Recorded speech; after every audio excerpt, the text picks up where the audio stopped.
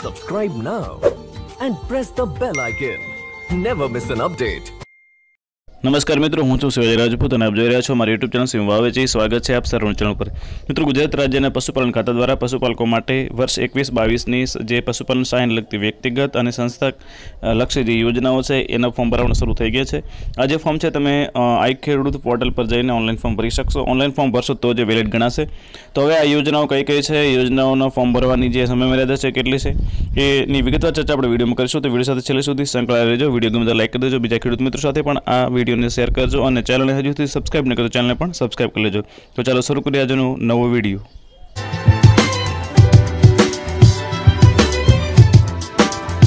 મિત્રો પશુપાલન લગતી વિવિધ યોજનાઓની વિગતવાર ચર્ચા કરીએ તો આજે કુલ છવ્વીસ યોજનાઓ છે, જેમાં તમારે એ યોજનાઓનું ફોર્મ આઈ ખેડૂત પોર્ટલ પર જઈને ફોર્મ ભરવાનું છે.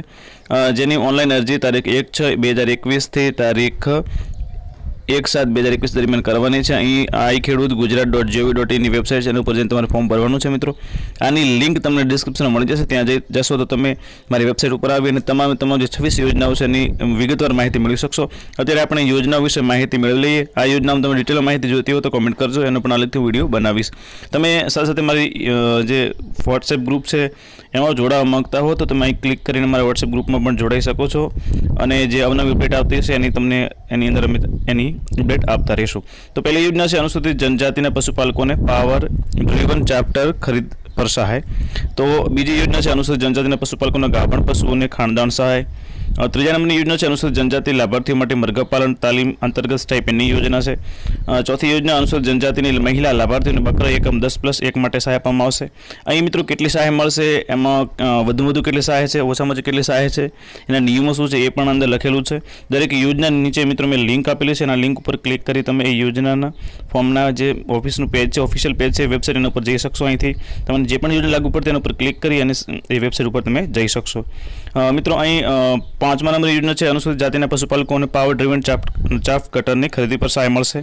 અનુસૂચિત જનજાતિના પશુપાલકોને ગાભણ પશુઓને ખાનદાન સહાય મળવાની છે અનુસૂચિત જાતિના પશુપાલકોને પશુ રહેણાંક માટે કેટલ શેડ પાણીની ટાંકી બનાવવા માટેની સહાયની યોજના ગાય ભેંસ વર્ગના બે પશુઓ માટેની જે છે એ યોજનાનો લાભ તમને મળશે અનુસૂચિત જાતિના લાભાર્થીઓ માટે બકરા એકમ દસ પ્લસ એક એની સહાય પણ મળવાપાત્ર છે. અનુસૂચિત જાતિના લાભાર્થીઓ માટે મરઘાપાલન તાલીમ અંતર્ગત સ્ટાઇપેન્ડની યોજના છે. એવી રીતે આર્થિક રીતે નબળા વર્ગના વર્ગ માટે મરઘાપાલન તાલીમ અંતર્ગત સ્ટાઇપેન્ડની યોજના છે. એકથી વીસ દુધાળા પશુ એકમની સ્થાપના માટે અનુસૂચિત જનજાતિના પશુપાલકો માટે બાર ટકા વ્યાજ સહાય છે. એવી જ રીતે અનુસૂચિત જાતિના પશુપાલકો માટે પણ બાર ટકા વ્યાજ સહાય છે. એ જ યોજના માટે જે બાકીના રાજ્યના પશુપાલકો છે, એમના માટે પણ બાર ટકા વ્યાજ સહાય તમને મળવાપાત્ર છે આવી રીતે તમે અહીં એની જે અ, સરકારે જાહેરાત આપી છે એનું પેપર કટિંગ પણ તમને મળી જશે તો એ પણ મેં અહીં વેબસાઇટમાં એડ કરેલું છે તમે નીચે જશો તો જનરલ કેટેગરી લાભાર્થીનો છે એમના માટે બકરા એકમ દસ પ્લસ એક માટે પણ સહાય છે રાજ્યના દિવ્યાંગ લોકો છે એમના માટે પણ મરઘા તાલીમ અંતર્ગત સ્ટાઇપેન્ડની યોજના છે રાજ્યના શ્રેષ્ઠ પશુપાલક પુ- પુરસ્કાર વિતરણ સમારોહના આયોજન માટેની યોજના છે જેમાં તાલુકા કક્ષાએ રાજ્ય કક્ષાએ એમ પુરસ્કાર આપવાના હોય છે, જેમાં દસ હજાર, પચાસ હજાર, ત્રીસ હજાર આવી અલગ અલગ નંબર પ્રમાણે રકમ પણ મળવાપાત્ર છે. રાજ્યની અનુસૂચિત જનજાતિ વિસ્તારના ગ્રામ્ય દૂધ ઉત્પાદક સહકારી મંડળી માટે દૂધ ઘર સહાય એટલે કે દૂધની મંડળી બનાવવા માટે સહાય પણ મળશે. એવી જ રીતે અહીં તમે નીચે જશો તો રાજ્યની અનુસૂચિત જાતિના વિસ્તારની ગ્રામ્ય ઉત્પાદક, દૂધ ઉત્પાદક સહકારી મંડળી માટે ગોડાઉન બનાવવા માટે પણ સહાય મળશે. અનુસૂચિત જાતિના વિસ્તારમાં જે એવી રીતે અ, અનુસૂચિત જનજાતિ અને અનુસૂચિત જાતિ બંનેના અ, વિસ્તારની અંદર દૂધ ઉત્પાદક સહકારી મંડળી અને ગોડાઉન બનાવવા માટેની યોજનાઓ પણ છે અ, એવી જ રીતે અહીં તમે નીચે જશો તો રાજ્યની ગ્ર- ગ્રામ્ય દૂધ ઉત્પાદક સહકારી મંડળી માટે દૂધ ઘર બનાવવા માટે પણ યોજના છે મહિલાઓ અને સામાન્ય માટે આ યોજના છે રાજ્યની ગ્રામ્ય દૂધ ઉત્પાદક સહકારી મંડળ માટે ગોડાઉન બનાવવા માટે યોજના છે. એટલે મતલબ કે અનુસૂચિત જાતિ, અનુસૂચિત જનજાતિ, જનરલ કેટેગરી, એમાં મહિલાઓ તેક્તાઓને અલગ અલગ પ્રકારની અલગ અલગ યોજનાઓનો લાભ મળ- મળવાપાત્ર છે. શુદ્ધ સંવર્ધન દ્વારા રાજ્યની સ્થાનિક ઓલાદની ગાયમાં કૃત્રિમ બીજદાનથી જન્મેલ વાછડીઓના પશુપાલકો માટે પ્રોત્સાહક યોજના છે. તો મિત્રો, આ પણ એક શુદ્ધ સંવર્ધન સ્થાનિક ઓલાદોનું સંવર્ધન થાય. એના માટે જે કૃત્રિમ બીજદાનથી જનરલ વાછડીઓ હોય એના માટે પણ પશુપાલકોને